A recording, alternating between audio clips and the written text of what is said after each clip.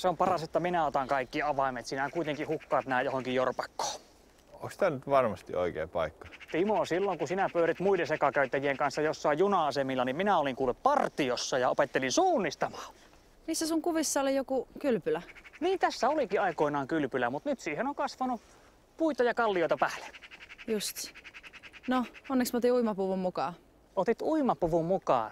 Jenny, onkohan vähän kylmä uimasää? Niin, no, tää oli vähän yllätys, että me tultiinkin mettään. No mut pääasia, että yllätys oli positiivinen. Hei Johnny, mitä sä teet? On hiljaa, kun voi nähdä mut täällä. Niin no, ihmiset voi nähdä sut, jos sä oot ulkona. Niin, ja sit joku paparazzi kuvaa mut täällä teidän kaa. Olisiko vähän noloa? Tai sit joku toinen julkis näkee mut täällä näin. Jesus. Sitten se toinen julkiskin olisi täällä. Niin joo, sä et vaan tajuu. Hei hei, nyt onkin vuorossa paras yllätys. Tadaa, tadaa, tadaa.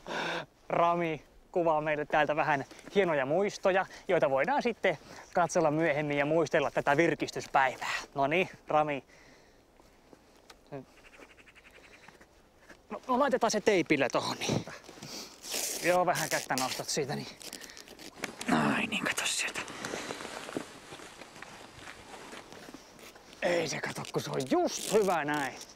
Ei tää ole ensimmäinen kerta. Ai.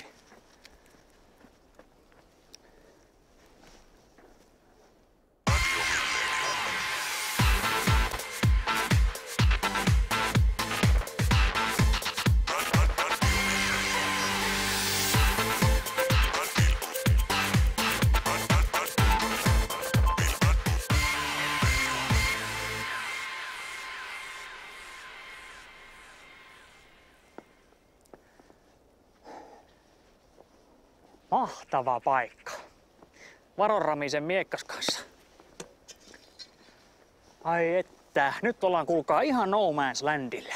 Täällä jos saa puukosta, niin firman vakuutus ei sitä korvaa. Niin tai jos Rami pimahtaa ja vetää bodomit, niin jokainen on sitten ihan omillaan.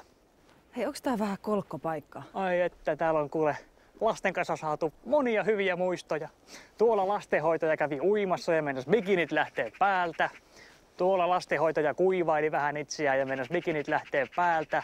Niin ja tuolla lastenhoitaja pisti vähän aurinkorasvaa ja mennessä bikinit lähtee päältä. Hei joo, mä tajusin jo. Älä keskeytä. Mitä se lastenhoitaja teki siellä? Ja sitten mennessä bikinit lähtee päältä, kun se istui tuohon kivelle. Okei. Okay. Hei, mitä me voitais tehdä täällä? Eihän täällä syksyllä mitään voi. Kaikkihan on pistäneet jo bisnekset pakettiin. Sitten mut kesällä tää on mahtava paikka. Täällä on huikea biitsi ja pirusti porukkaa. Hei, hei, hei. Miksi me ei tultu kesällä tänne? Juu, ja sitten me olisi voitu samalla niin kuin firman avaruusraketilla lentää suoraan Veenukseen, jossa kultasuikkaset yksisarviset olisi tarjoilleet meille elämän nektaria suoraan platinapikareista. Please sir, some nectar sir. No kesällä taisi varmaan ollut pikkasen kivempi paikka. Täällä olisi voinut käydä uimassa ja pelata vaikka rantalentistä tai... Siis tajuatteko te, miten suosittu tämä on tämä paikka kesällä? Siis täällähän joutuu maksamaan telttapaikoistakin kesällä, mutta tähän aikaan täällä saa telttailla ihan sydämensä kyllyydestä. Siis onko meillä teltat mukana vai? Kyllä sitä nyt ollaan niin matkanjärjestäjänä siinä taas. Oisit Folkeveesta varannut itse paremman paikan. Kattokaa Ramista mallia. Rami nauttii ulkoilusta. Mä lähden nyt muuten hakemaan vähän marjoja tuolta metsästä. Marjoja? Eihän nyt marjoja tähän aikaan. Totta kai on, vai mitä Rami? Marjat kyllä kuihtuu yleensä ensimmäistä yöpakkasta. Kiitos Rami. Heti kun päästään takas kaupunkiin, niin laitetaan sulle kuonokoppa tilaukseen. No niin, leiri pystyy. Mä lähden hakemaan vähän metsän antimia. Taisin nähdä viinimarjoja tuolla rannassa.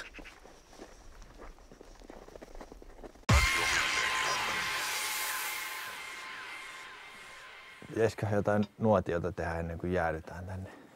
Hypotermisessa tilassa täytyy riisua kaikki vaatteet ja käpertyä isoksi keoksi.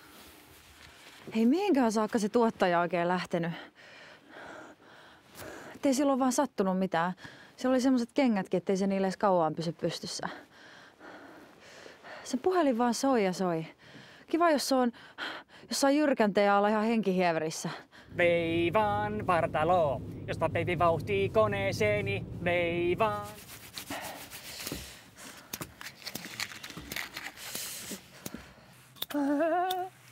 Wow, we're halfway there. Wow, living on a prayer. Miksi tää ei syttyä, tänne on pakko syttyä, mehän jäädytään tänne kuoliaaksi. Ei mentsi voi nyt jäätyä kuoleaksi, mutta tämmönen perjantai makin synttäreille.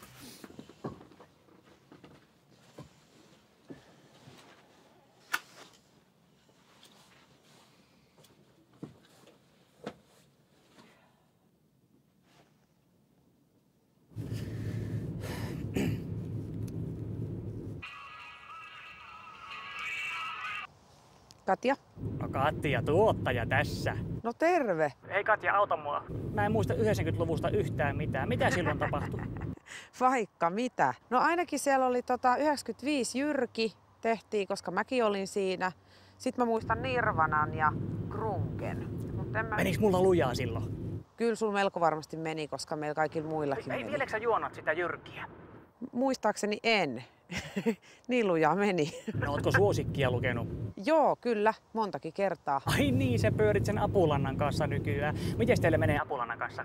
Erinomaisesti justiinsa julkaistiin karaoke-DVD-levy ja sitten keikkailee kovasti. Hei, mä olin tässä hiljattain siellä Apulannan keikkabussissa ja me painittiin vähän Tonin kanssa siinä, niin mulla tuli semmonen pieni puklu sinne penkille. Mitä sä sillä lailla meet puklailee toisten ihmisten matkakoteihin? Hei, mut tuli mieleen Katja, että aina kun me nähdään toisemme, niin me nähdään siellä hevostalleilla. Joo, sielläkin.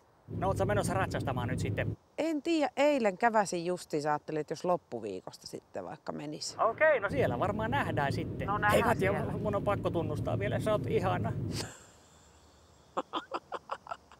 Mitä tuohon voi sanoa? Jos mulla ei olisi vaimoa ja kahta tyttöystävää, niin mä pyytäisin heti sua kahveille. Se on kiva. Ja Mä kuulin, että sä punastuit siellä nyt. Se kuuluu kauas se mun punastuminen. Katja kuuli, nyt pitää mennä. Mulla on vähän kiire tässä. Mä ajan just tähän tuota toimituksen pihaan. No niin, palataan. Moi. Moi moi!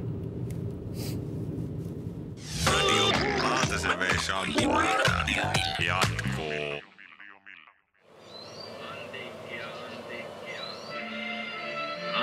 Antiikkia.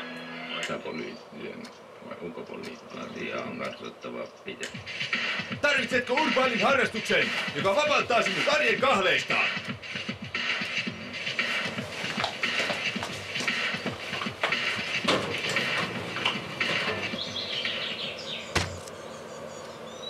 Parkour!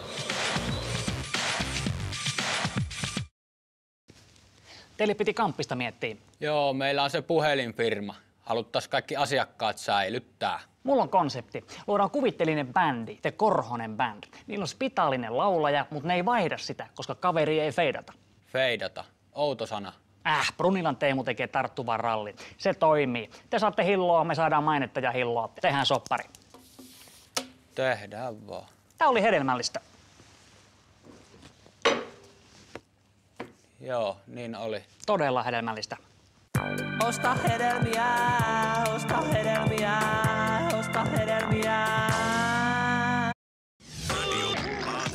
Radio